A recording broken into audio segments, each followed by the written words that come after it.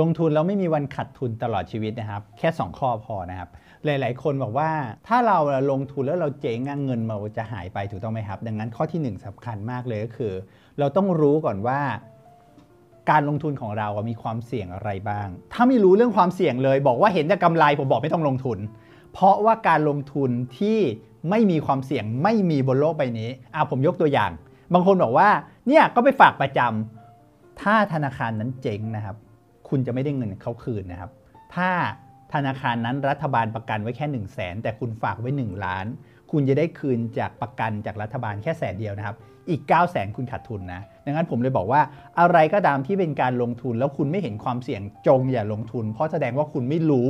เรื่องของการลงทุนเรื่องนั้นเลยนะครับ ข้อที่2นะครับคุณต้องรู้ก่อนว่าคุณได้เท่าไหร่ บางคนบอกว่าได้เยอะเนี่ยลงทุนอันนี้ได้เยอะผมบอกไม่จริง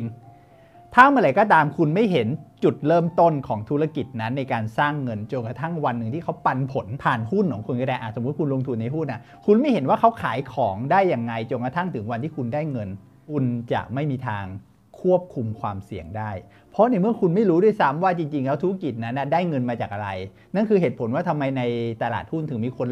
ถูกหลอกให้ลงทุน แล้วเจ้าของหุ้นก็เอาเงินหอบ